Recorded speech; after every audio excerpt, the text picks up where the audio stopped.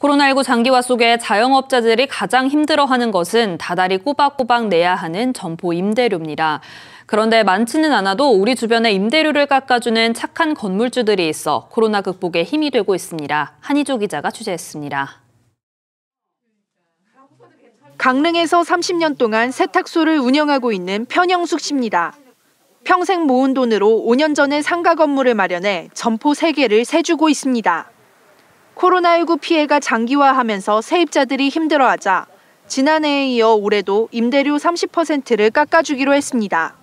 세입자의 애환을 누구보다 잘 알기 때문입니다. 코로나가 또 이게 겹쳐갖고 더 이중으로 지금 고통을 받고 너무 힘들어하고 있는 건 피부로 느끼기 때문에 많이는 못해도 조금이나 도움이 될까. 동해시의 박대현 씨도 임대료 인하에 동참한 착한 건물주입니다. 상가 건물의 세입자 3명에게 올 1월부터 석 달 동안 임대료를 70%만 받기로 했습니다. 역시 지난해에 이어 두 번째로 임대료를 깎아주는 겁니다. 임대인하고 임차인하고 같이 상생하면서 살아야 된다. 어, 이런 생각을 늘 갖고 있어요.